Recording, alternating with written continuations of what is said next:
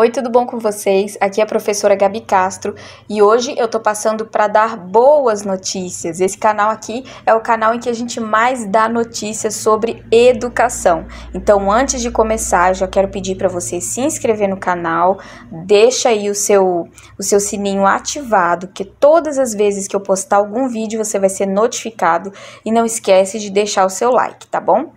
Olha que notícia boa. A primeira dama, Michele Bolsonaro, vai começar a dar aulas de Libras no seu Instagram. Isso daí saiu ontem.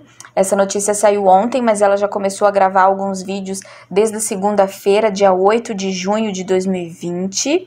E aí no primeiro vídeo ela já ensinou a falar o boa tarde. Então eu tô aqui para vocês, ó.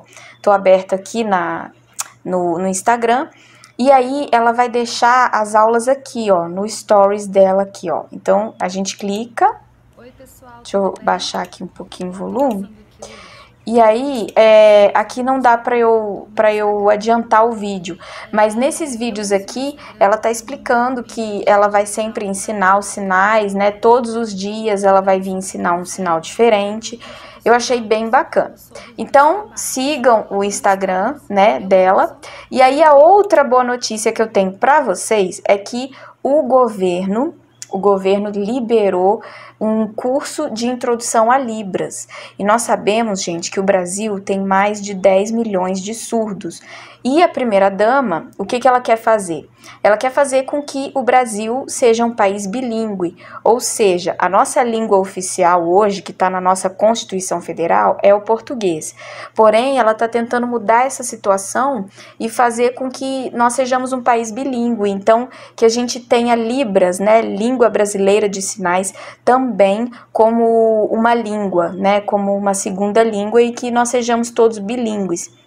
Então, é, eles disponibilizaram, eu vou deixar o link aqui embaixo para vocês verem, é o escolavirtual.gov.br, muito interessante, qualquer pessoa pode fazer, o curso é gratuito, ele tem uma carga horária de 60 horas e ele tem 70 dias para você fazer o curso, tá? Então o curso fica disponível a partir do dia que você faz a sua inscrição, ele fica disponível por 70 dias, tá?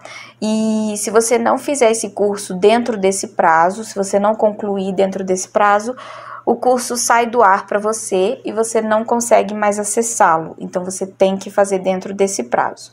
É, aqui a gente tem várias coisas né, do conteúdo programático. Então a gente aprende sobre a identidade e a cultura surda, né? Porque a gente precisa conhecer um pouco deles também, né?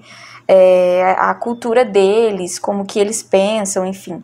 Aqui também tem algumas práticas bem legais. Eu achei ótimo porque eu já tive vários alunos surdos e eu sempre tive intérprete para poder interpretar as minhas aulas dentro de sala de aula. Então, com esse curso aqui, eu já vou conseguir dar uma melhorada aí para conversar com os meus alunos. E, e isso é para todo mundo. Todo povo brasileiro deveria saber Libras. E aí eu tô aqui, gente, olha, dentro da minha plataforma, eu fiz a minha inscrição hoje. E uma coisa interessante, olha, é que tem nota mínima para aprovação, tá? tem, é uma coisa bem, bem séria, não é bagunça, é uma coisa assim que você tem que se dedicar mesmo.